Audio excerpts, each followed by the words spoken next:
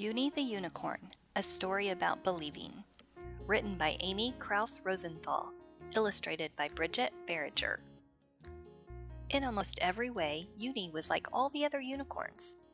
Magnificent mane, though Uni's was extra magnificent.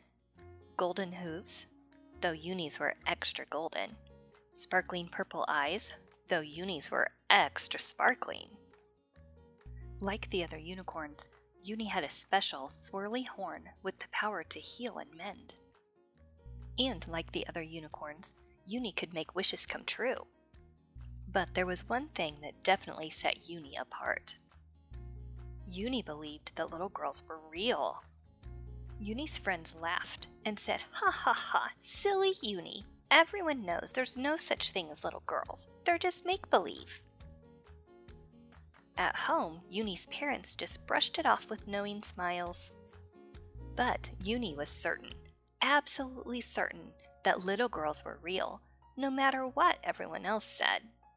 Uni knew that somewhere far away, but not that far away, there was a little girl waiting, a strong, smart, wonderful, magical little girl, and she would be the best friend a unicorn could ever ask for.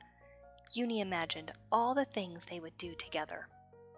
They would run fast through the meadow. They would spin and twirl in the sunlight. They would explore and help forest creatures in need.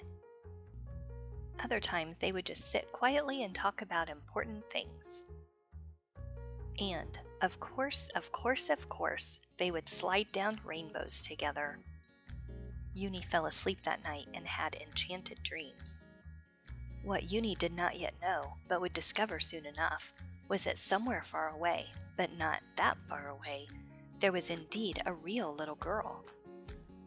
And even though her friends said, Ha ha ha, unicorns are just make believe,